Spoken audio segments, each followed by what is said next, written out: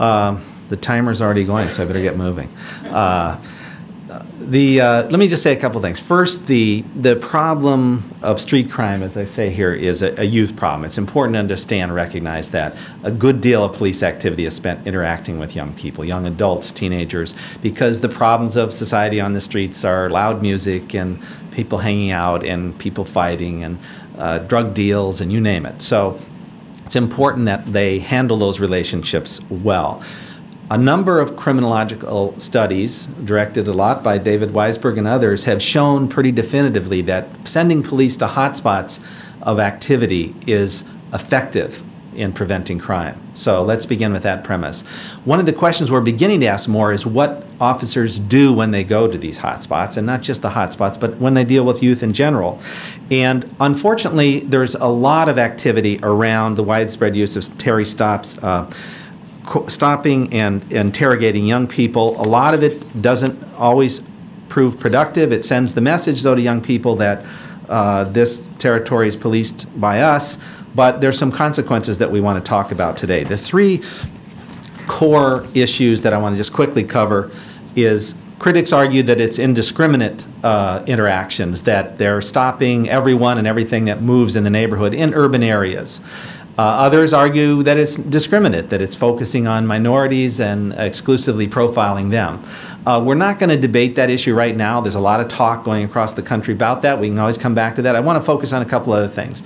The potential criminogenic effects. Uh, Dr. Weisburd alluded to that earlier. Ar arresting adults is not a doesn't have that much effect on them, but arresting juveniles seems to. We have research suggesting that you know you're more likely to not to drop out of school. Dropping out of school leads lots of research to more likely to not be unemployed. Being unemployed is more likely to lead to crime. So it may be having the opposite effect in the long run. So we need to be careful about who and when we arrest people. Uh, mostly we want to focus on today the negative interactions between police and youth that may affect police legitimacy. Uh, through the National Police Research Platform, it's a program funded by the National Institute of Justice and uh, run by about seven universities around the country. We have we are developing new indicators of police performance, both inside the organization and externally. Externally, we have the police community interaction surveys that measure the quality of police citizen encounters. And this is just in one city. We're going to roll this out in 100 cities uh, in 2013. Uh, but you can see here already on the right side that, uh, young people under 30 are much less satisfied with the encounters they have with the police. And the question becomes why. Uh, we break this down and we are able to dig much deeper through our research. And uh, uh, following the concepts of procedural justice, we now understand much better that uh, it has to do with the process of policing and not so much the outcome.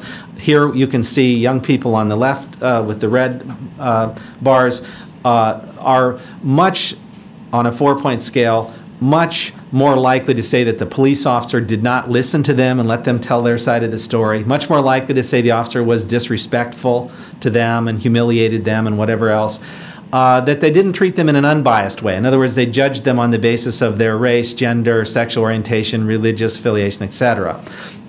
And that the officers were not trustworthy in, in, in the sense of showing concern for them. Um, so we, we know that that's uh, important. The question is why do we care? It, these interactions, research has shown pretty definitively, undermine the legitimacy of the police. Here's Tom Tyler's definition of legitimacy.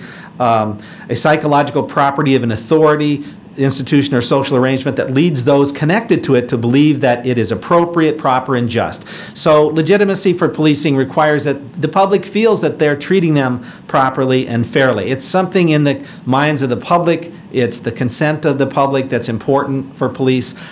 Um, the consequences of this uh, when there are injustices as perceived by the public and weak legitimacy, a large body of research suggesting that the public is then less willing to cooperate with the police, which can contribute to the no snitch culture that's growing in some of our urban areas. They're much less willing to comply with requests by the police to do certain things, and they're less willing to obey the law. That's really important when an orderly society that this kind of uh, legitimacy is affecting that. Uh, they're also, we believe, this is being documented, more likely to file complaints, lawsuits, generate negative coverage of the police and the media, which all undermines uh, legitimacy. So, uh, if uh, we're going to, in the long run, the argument here is the strategy may do more harm than good, the strategy being uh, these aggressive contacts on the street. In the, if it undermines, if it's leading to more disorder and, and less order in the long run. We, we haven't established that over time. That's something we're working on. In the short run, clearly, it makes the job of the police very difficult. And you have to understand that police officers, when someone doesn't see you as legitimate and challenges you, you have to use more force than you would have otherwise. And that leads to counterforce, which escalates the whole situation. And uh, you can see where that goes.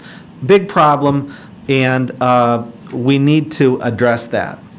Um, solutions and policy implications. First of all, let me be clear that. Um, Terry stops are essential to police work. Eliminating them is not the answer.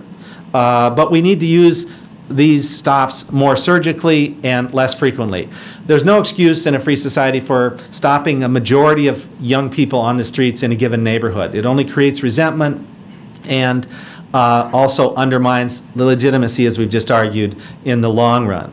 So um, we need to move beyond that. And we need to, I'm arguing here, train police officers and supervisors in the methods of what I'm calling respectful, engaged policing.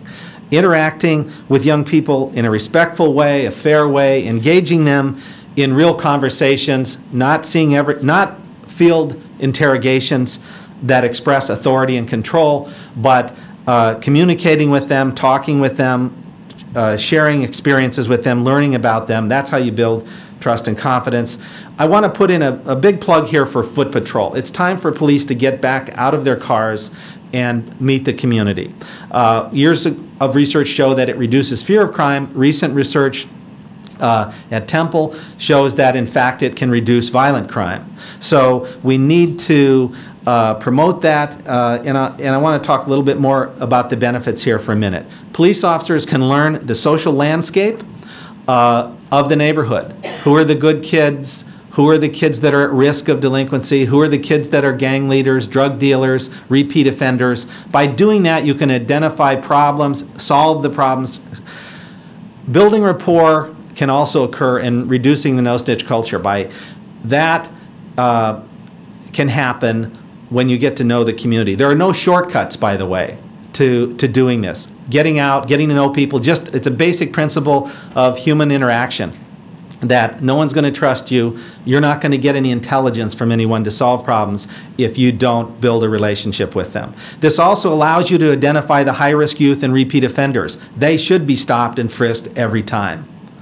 Uh, and it, in the end, this will build police legitimacy and prevent crime. I just want to say that I feel there's a promising future. We have done randomized trials to show that young police recruits can be trained in these social skills. We need a lot more work there, but I have this envisionment that we can build a police force in the United States that uh, has the skills to interact with the public, that can be the better person, be the uh, and, and not feel a need to respond in kind every time a young person challenges them. And so that will ultimately lead to public trust and confidence. Thank you very much.